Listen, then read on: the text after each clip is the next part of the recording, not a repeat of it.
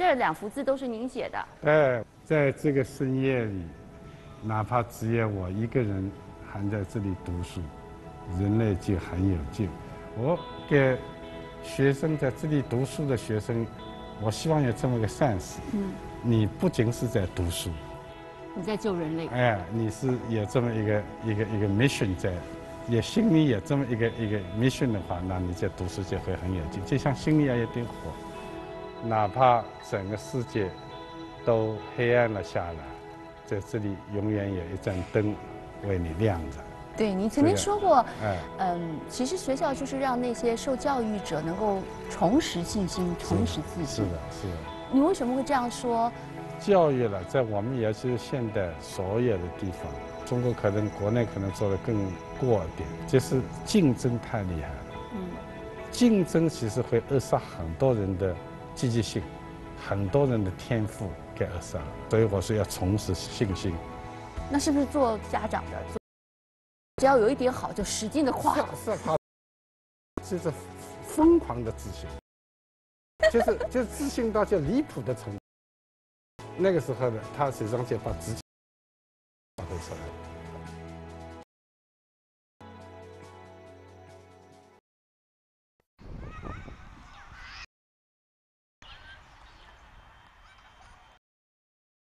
你好，你好，你好，你好，真的是老乡啊！真的是老乡啊！啊，我是绍兴，太好了，很高兴，我们都到粤港澳湾区，是的，澳湾。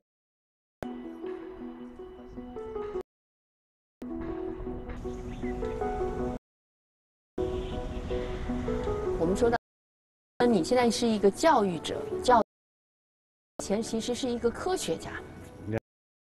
做机器人，做智能，人工智能做了大。但您有没有看过一个片，特别可有有趣哈？人类还希望机器人帮扫地，结果他去创作艺，在煮饭、扫地。图片吗？呃，是的，在讲这个人类发展的世界是两条，一个是。越来越越像人，对，机器，人越来越像机器，人越来越取决于机，依赖机器，依赖机器。比如说，开到一个一个大的一个地方，前面是建筑工地，我三十分，晚上十一点半，GPS 怎么说的？这个，是。机器怎么？嗯。啊，我的实验室里面，呃，摊着一大地。我说这是什么东西？他们说，呃，新的这个系统装不起来，行吧，行吧，我们等下再装。装饰以后，打扫卫生的阿姨，磨叽磨叽磨叽把它装起来了。你怎么装起来的？啊，他们都是有文化的人。想的太复杂。是没有文化呢，我们只能用脑子。这好像有点。这个这个我听了以后是非常有感悟，越来越像机器，越读书人越像机器，放弃了习惯，这个是一个。你刚才提到的未来人生有，一个是机器人会越来越，那么人类会越来越像机器人，是不是一个坏事？但是。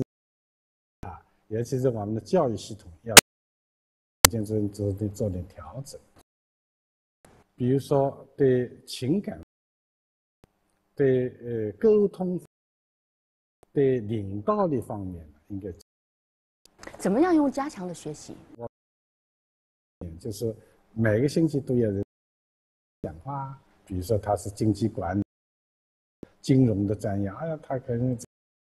啊，什么？他要跟人家去讲这些东西。这个话，这是一个非常，我称之为人生最，一个是怎么做人，一个是，一个是怎么说话，恰恰学校是不教的。所以，学的时候我希望能够把这件事情。这就跟一般人进大学的感受，觉得考进了大学学一技。然后出社会能够找得到工作。学做人，学说话，对，呃，感觉上是，是但好像不是一个硬壳。其实是很重要的。我们所以这个就是我从一开始就是跟我们是要培养人，不是培养专家。专家的学校其实很多啊，电工的啊，怎么是怎么而且都这个是一个条口饭吃的呢，的这个这个嗯，因为世界在变化，孩子二十年以后去吃什么？你去问一个任何一个说你今天做这个事，你们是不是大学？我告诉你，十有九告诉你，我我是转的，要叫你这个好好做人，很多根本的东西，人性。您怎么样把这一个体系，港中大深圳，建了吗？是我们实践了十年，这是实践的经验，我们都要统计数据。是比如说人的训练，我这个在这个学校，每个学生分一个学院，比如说你是经管学院另外呢，你是一，比如说你是一附书院，那那比如说三个学生、四个学生，医学院的人都住在一起，会在这里就跨学科了。它这就是，因为我们的社会是跨学科，比如觉得我完全可能是毕业以后我我想找投资啊，哪里去？哎呀，我就想到我宿舍里面就有一个，懂的啊，是？吧？而且跨学科有一个非常重要的基础。哎，每个书院或性或者是个性，有有有有有有，书院特别重视体育比赛，那个书院体育很在强，那地方就很，那就做题咯。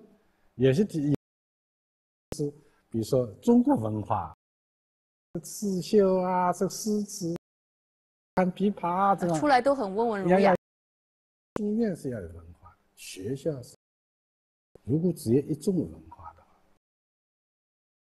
还有一个这个我，嗯，就是叫通识教育，education。General education 是，我们是要读四年，每一个学您跟我们解释一下每一呃通识教育或者比如说，比如说，很多 Aristotle 啊、Plato、孔子啊、例子啊、庄子啊、古兰经啊，都要读，所以一个个读过来。啊，只是你知道世界的文明在哪？你要知道科学的思维是怎么，独立思辨能力怎么样？这是新的一个，我们现在到处都在讲新的一个基础。那我们还要学科学的要学啊，我们这个民族啦是思思想技术上也不大重视科学的思科学的精神，他比较重重视什么？其实传承重要的啊，但是传承我们要走更高一步，人家做了什么，说这种你这很多的这个在国。你问他一个事情，他是老是想，美国是随时的，日本是怎么走的？怎么做？这这是跟随。所以这里学校第一天我要培养 leader，不是 follow，是 good follow，是这样子。对机会，就像您说的啊，每一个年增长的速度不一样是啊，但大学这么青春年华的这四年，更多的机会去看到不同的可能性。我的自己的观察，我自己的研究，在高中后面的一年跟大学的这四年，这是基本上定了他的格他的胸襟，他能够走到的，基本上在这六年当中定。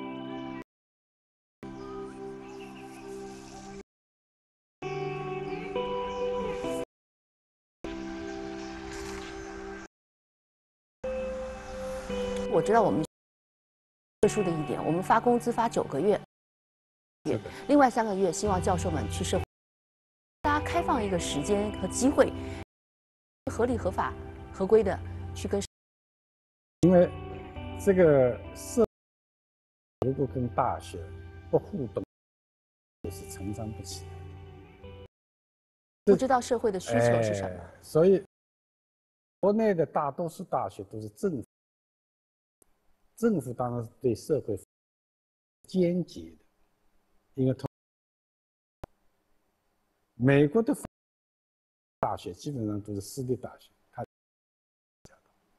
所以是把教授们推出去学社会接受，这个是非常之。reality 就是现实是怎么，所以这样才是成的人。你别以为成熟都是对孩，成年人有些人也不成熟。有些人我不敢就读了博士后。是啊是啊，这个他他读书，他是因为他想避免跟这个是是这是没有出息的，浪费对社会是一个浪费。对整个的 family 家庭也是个浪费。有一些教授不适应就走了。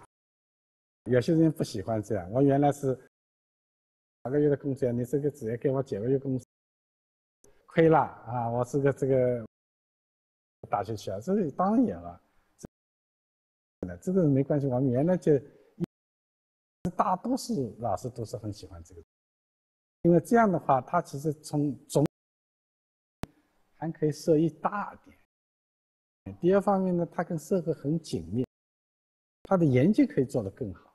但我宁愿不要收入，我我这三年三个月当中，我想放弃走游学一样的哈，可以再去一下社会或世界。这个我们，比比如说这个呃，最啊，都让去转他圈游，去做，是啊是啊，很好啊，呃那。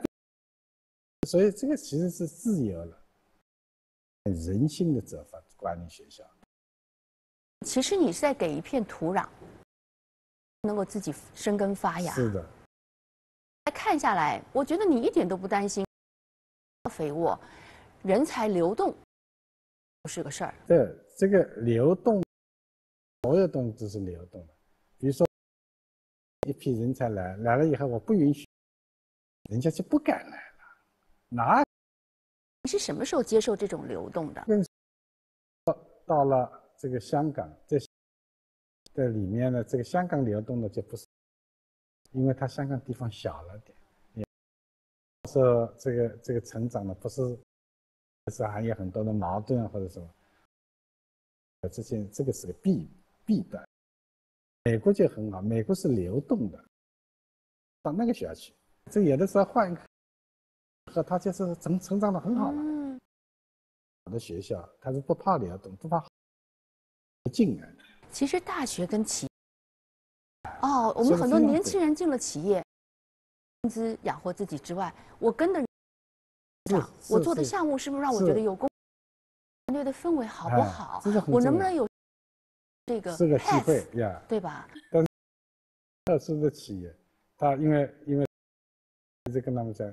学生是第一，一开始很多人不接受，到两三年以后，包括老师也不接受。那他们这里第一的应该是谁？不接受的时候，自己是第一的嘛？我觉得大学就大事很重要，第一。所以我说，你看，学生是第一，是第二，校长是第一，校长就是给老师搬搬凳子，老师都请来，你。好一点，这就是校长。建这些事情，我知道这里的硬件、软件原则。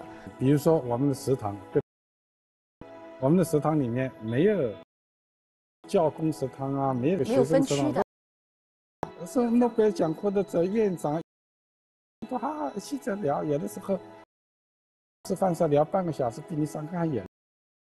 是很喜欢跟学生交流，为什么呢？他有点怕。那么吃饭什么？他觉得这个院士，这或者这也就是这个样子。我们跟他啊，有个学生跟我讲，他说，或者这我每次要逮住一两次，那那那再跟他聊聊很好。跟巴菲特吃个饭还要很多钱呢。是啊，不要钱的，所以你一定要放到混混在一起，这个就是教育，就是 education，education 是潜移默化的。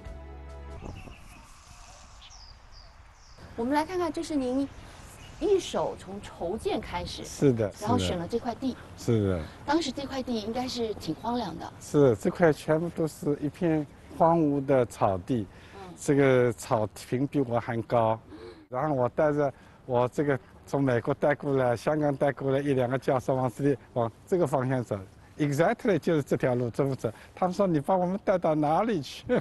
我说这里有块这个雨露牌子，我说大概这就是我们学校的边境，然后那边呢是有几栋破旧的厂房。哦，这个后来我们把它改建成我们的启动区校区，我们就是在这么一个环境之下开始。你当时在这个杂草丛生的这条中轴线，您是看到了什么？觉得说就这儿，这个龙岗就是这个深圳的，当时是属于关外，这个地方周边都是那个时候都是城中村，那么有很多年轻人。整个深圳当时是二十七、二十八，所以你那时候感觉到的是一种蓬勃向上，虽然杂是啊，乱无章，发发但是。青春期的这种蓬勃，是不知道方向在哪里，是但是未来无限的感觉。是的，我很喜欢这个地方。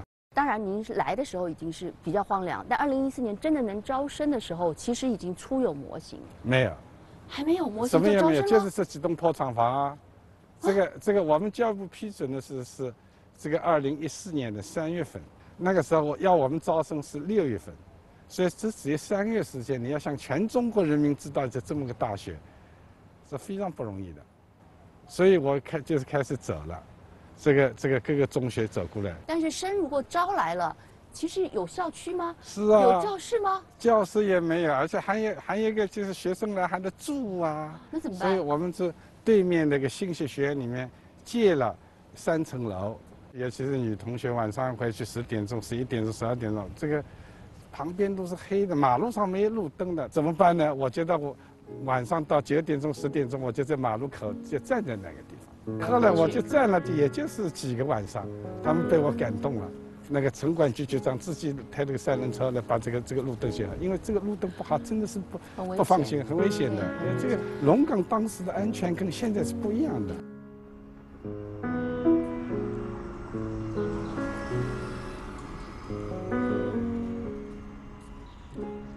一九九七年希望你到香港去，嗯您又不是香港人。我看到有一些回到港科大的，是因为他本身是香港人很愿意报效自己的呃家乡。是但是您就愿意回来，嗯是因为什么？那个时候先刚刚要回归，所有的人呢都怕这个。您是逆行者，我是逆行者，他们都是往这里走，我是上水过来的，所以我的亲戚啊、朋友啊都说我这个 crazy，但我还是蛮喜欢的。是谁跟您提出邀请的？您怎么动心的？我其实是有一个他们的工学院院长到了我们这个学校来，来了以后呢，跟我聊聊聊聊了以后，我很高兴的。我一九九二年第一次到了香港，有个国际会议，我香港影响很好的。我觉得香港是一个中西文化交融的地方，就是好像最接近中国的世界，同时也是最接近世界的中国。嗯，再加上呢是回归开始，这个香港已经离开祖国的怀抱一百多年，那回来了以后会产生怎么样的一个反应？所以我这蛮有兴趣。那个时候的香港的所有人的 mentality，所有人的思想是什么呢？中国太大了，会被香港给统掉了。我说还不一定哦，也可能香港是个刚给你。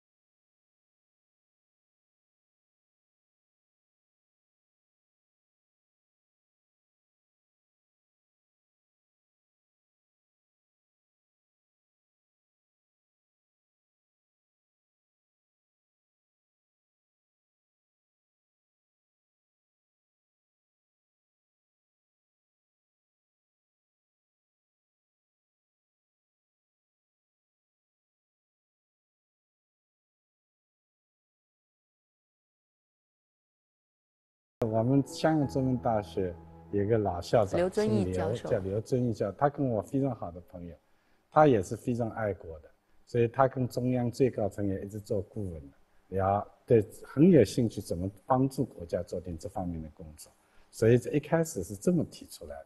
然后呢，我呢当时是做研究，我当时是看了就是珠三角，看了长三角，看了渤海湾，访问了大概二十几个大学，大概十几个研究所，我发现这个很奇怪，很奇妙。经济的角度上讲起，这三个地方三足鼎立，但是从科技上很不一样。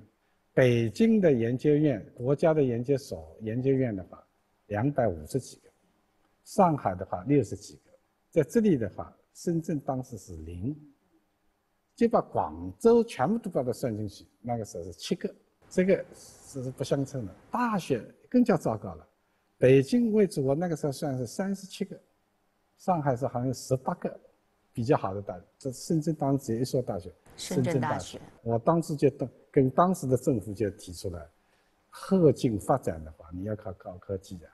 搞教育啊，你这里是不平衡啊，所以应该反，所以他们非常欢迎我们这到这里来，所以我们到深圳的办学是雪中送炭的。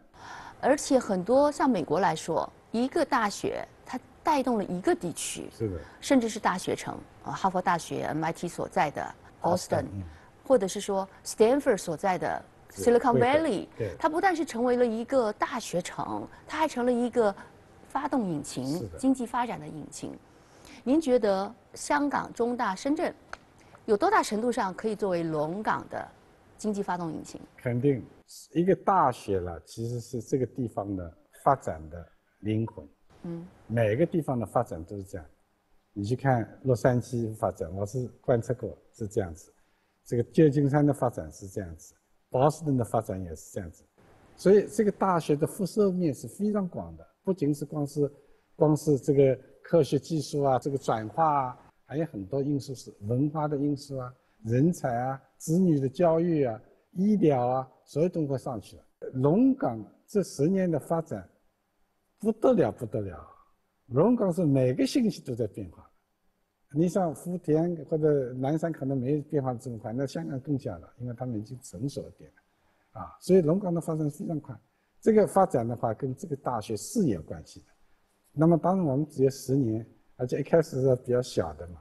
这下面的十年呢，这这个这个这个影响力会非常非常大。您曾经说过啊，中国内地的大学是可以有机会可以成为世界前五的大学，但是可能像 Stanford 要四十年、五十年，我们呢？一个大学的发展呢，基本上分成三个阶段。第一个阶段大概是初创阶段，初创阶段呢，十年到十五年，主要是经济。那么第二个阶段的话，大概是十五年到三十年左右，这个这段时间当中是非常非常重要的。这个是跟大学的定位、跟师资条件、跟大学的文化是有关系。然后三十年到这个四十年这十年当中，这个走向高峰。我们现在目前这个状态，就是这个学校现在只一万多学生嘛，有大概三到四个这个学科基本上能够是世界一流的学科。我希望每五年增加一倍，每五年增加一倍，到这个学科能够到二十个学科的时候，那这个是自然而然就是世界一流的大学。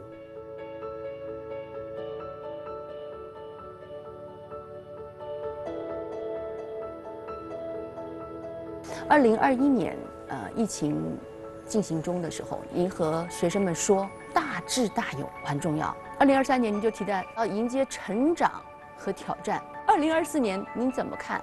您又愿意跟二零二四年的年轻人说什么？我今年的题目写了个顺天应时，应该顺着这个潮流，这个时代的脉搏。但是呢，你同时呢，你不要忘记，你要有有信心，你要有勇气，你不要怕。很多东西就是我们的学生，刚才说智力的训练都很好。从小学开始到大学都是这么选，怎么做选择？我跟我的同学讲，我的学生讲，世界上重要的事情出现的时候，常常你自己是其实是没有选择。嗯，我比如说我从从美国到香港来，我说我当时也可以选择留在美国，选择这这个这，但其实我心里就是想来了，想来了就来了。这个我说人生选择的东西其实不多的，就是 take it，有勇气的 take it。同行大运，我们这个村叫大运村。啊，您真的是接着为您播出五粮液时事直通车》。